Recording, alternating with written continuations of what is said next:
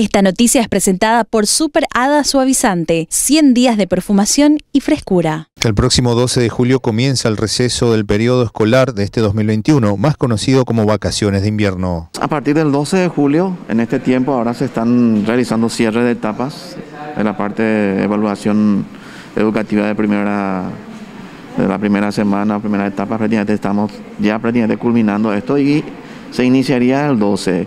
El 12 continuaría hasta el 30.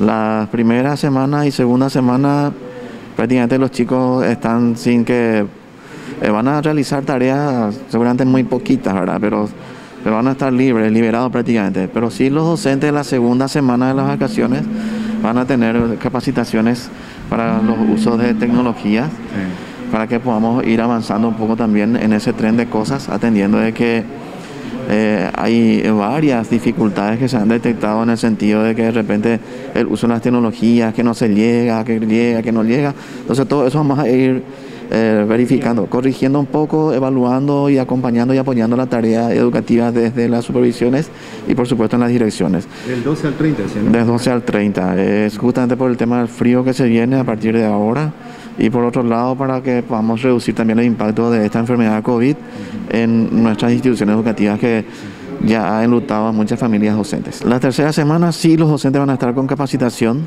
y yo creo que van a estar probando algunos instrumentos, algunos materiales con ellos, por eso tal vez estarían teniendo algunas, algunos pequeños reportes, tal vez en los grupos que están conformados ya con las instituciones educativas, con los padres, con los mismos estudiantes, ¿verdad? Para probar algunos materiales que van a estar también eh, teniendo a mano posteriormente los docentes. Y por supuesto, nuestro plan de contingencia departamental, seguimos en la plena ejecución para poder este, salvaguardar la vida y esperar que podamos conseguir justamente que nuestros colegas docentes eh, sean inmunizados en su gran mayoría, en especial los que tienen alta comorbilidad y por supuesto los que ya alcanzan la edad para que puedan ser vacunados y con eso podamos conseguir eh, volver a clases presenciales muy prontamente. Esto comenzará del 12 al 30 de julio y donde los docentes en la tercera semana comenzarán a ir a las escuelas, teniendo en cuenta que se debe mejorar e implementar el sistema de enseñanza vía online. También no se descarta que en este segundo en este segundo semestre se vuelva con las clases presenciales.